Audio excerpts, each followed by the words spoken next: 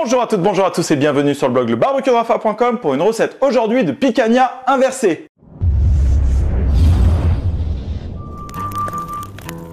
La picanha, c'est de l'aiguillette de rhum steak non parée. C'est un morceau que l'on retrouve pas tellement en France ou euh, souvent dans les boucheries euh, portugaises où il faut demander vraiment à votre boucher un espèce de magret de canard mais de bœuf. C'est-à-dire que il va y avoir cette grosse couche de gras euh, sur le dessus qui fait vraiment ressembler cette pièce de bœuf à un magret de canard. C'est vraiment le morceau typique des churrasco, donc des barbecues brésiliens dominicaux. On retrouve ça également au Portugal. C'est vraiment une viande qui est franchement fabuleuse, super bonne, hyper tendre. Je vous ai déjà montré plusieurs vidéos. Donc un où on va la couper, on va la mettre en forme de U comme ça, directement sur la broche. Le gras va venir nourrir la viande, c'est succulent. Je vous avais fait voir si vous n'avez pas de tourne-broche, justement, comment la faire. Donc en cuisson euh, basse température, on la finit, on la snack. J'avais également fait avec euh, chez Kankai une picanha. Je vous avais montré donc euh, dans un premier temps côté gras, on finit par snacker. Donc ça c'était à la plancha. Et là, on va faire une recette de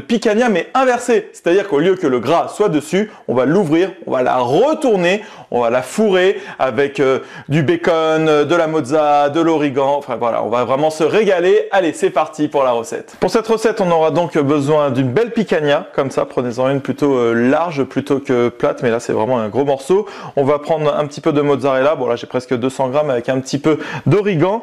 200 grammes également de lardon et deux oignons. Donc dans un premier temps, sur la plancha, je vais faire revenir les lardons et euh, les oignons. On est parti pour l'allumage de la plancha. Alors aujourd'hui on va faire euh, la cuisson ici sur le Kankai Timbal. Je vous rappelle que c'est le seul zéro plancha.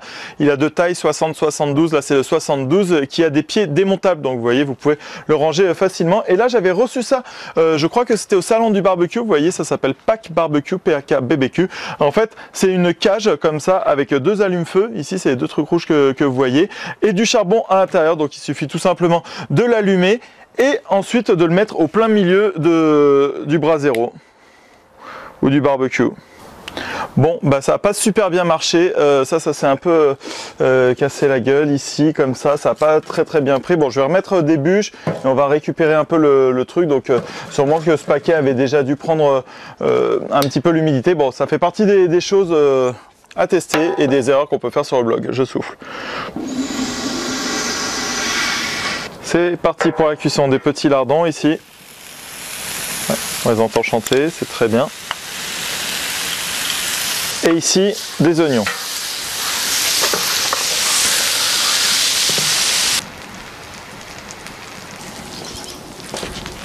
Alors, on appelle ça une picanha inversée. Donc, une picanha, c'est une aiguillette de steak non parée. Euh, j'appelle souvent ça le gros magret de canard euh, de bœuf parce que vous voyez la grosse couche euh, de gras ici. Et en fait, on va la faire en version inversée. Donc, vous voyez ici, on va venir faire un trou ici, à cet endroit-là. Très bien. Et là, avec la lame, on va faire attention d'aller le plus loin possible. La lame bien parallèle à notre planche à découper et on va chercher le plus loin possible. Voilà, ici. Et là. Voilà, pour avoir une cavité assez importante. Voilà, on voit bien le gras intramusculaire à cet endroit-là. C'est magnifique. Voilà, on va agrandir encore un tout petit peu ici. Et le but, du coup, ça va être d'inverser. Alors, vous voyez à quoi ça, ressemble, c'est un peu bizarre euh, comme ça. Et on va prendre la pointe et on va la faire passer ici à l'intérieur. Là, c'est l'épreuve la plus compliquée parce qu'il faut absolument pas que ça vienne se déchirer. Donc, on met la pointe. Voilà, on met ici et on va pouvoir récupérer de l'autre côté. Voilà, super. C'est bon. Voilà. Et du coup, là, la pointe, j'avais pas suffisamment coupé. On va recouper un petit peu comme ça. Voilà, super. Et vous voyez là le gras alors, du coup, s'il y a beaucoup de gras sur votre picanha, euh, coupez-le un petit peu. Hein. Moi, j'en ai recoupé un tout petit peu, comme ça, vous voyez, pour que ce soit quand même mangeable, puisque c'est à l'intérieur, c'est là où ça va euh, le moins fondre. par exemple, ici, ça, je vais le couper. Et ben voilà,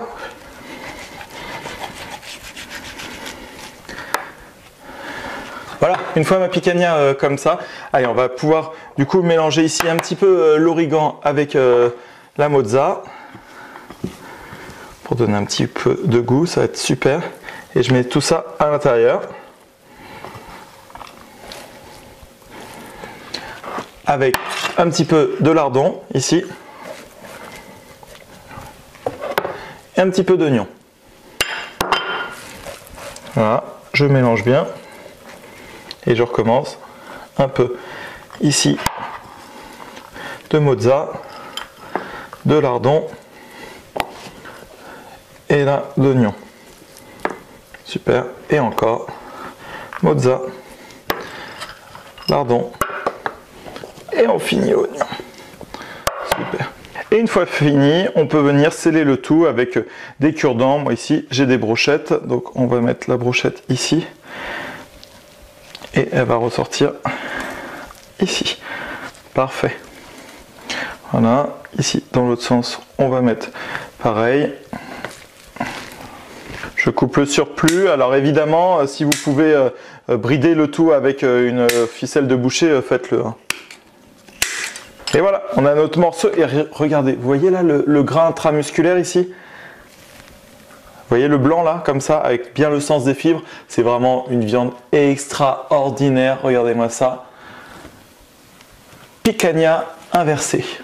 Allez, direction la plancha maintenant. Sur une plancha ou un barbecue environ 200 euh, degrés, vous voyez que là la fermeture elle est euh, vers le haut.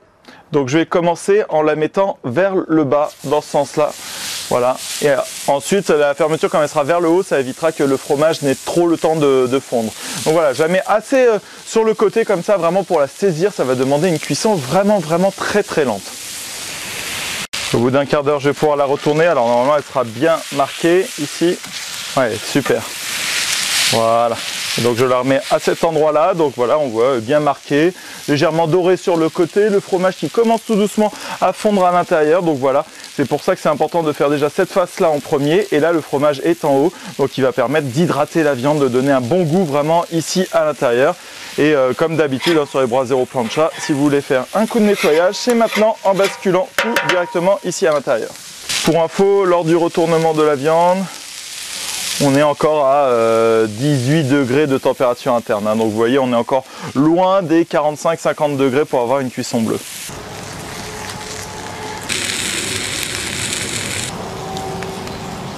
Quand on arrive presque vers la fin, ça va être le moment de venir snacker euh, sur les côtés, comme ça maintenant.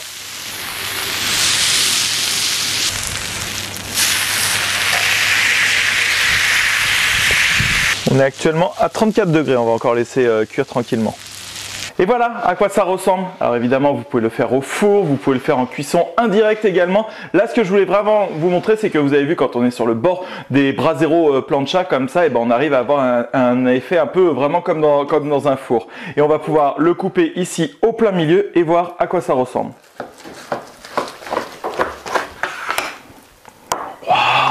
regardez, on a encore une viande qui est légèrement rosée ici.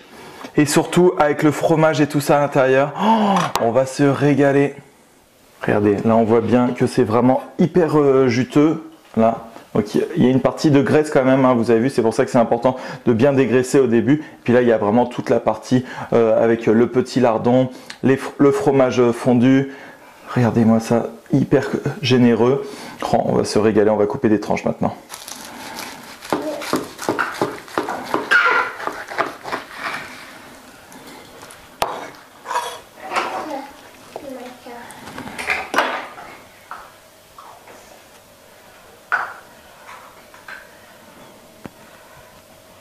Regardez-moi ça, comment c'est pas barbecue spirit d'avoir ce gras ici qui coule, ce côté rosé et avoir la viande juste ici et ainsi que le fromage avec les lardons. magnifique. Comme d'habitude, je vais couper un petit morceau pour voir euh, ce que ça donne. Alors déjà, vous voyez, même si c'est sur le côté qui est un petit peu plus cuit, euh, côté euh, plancha, bah en fait, le, gras déjà de base, comme on a retourné, hein, puisque c'est une picanha inversée, vient nourrir la viande. ça fait qu'elle n'est pas du tout sèche. En plus, avec le fromage et tout ça qu'on met à l'intérieur, ça, a vraiment donné un, beaucoup d'humidité à l'intérieur. On va goûter. Mmh. Vraiment super bon. Et puis alors là, ça fait un petit peu euh, presque raclette. Regardez, je vais goûter euh, là le, mélange euh, oignon. Hmm. Vraiment succulent avec cette touche d'origan, ça marche super bien.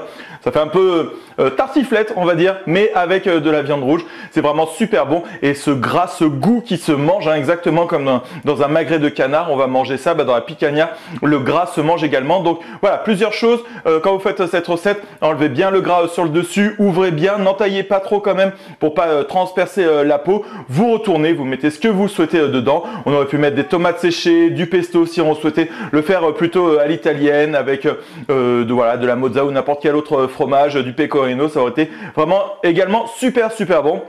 Et vous avez vu comment on peut faire avec le Brasero Plancha un effet four un petit peu en mettant vraiment sur l'extérieur comme ça. Mais par contre, on a pu faire comme dans une poêle en mettant euh, les lardons et les oignons vraiment sur le bord pour venir euh, saisir. Enfin, on peut vraiment tout faire. C'est vraiment euh, super super bien. Par contre, le charbon, la boîte que j'ai mis comme ça, bah, ça peut prendre l'humidité, etc. Là, c'était vraiment pas le, top aujourd'hui. Mais c'est pas grave.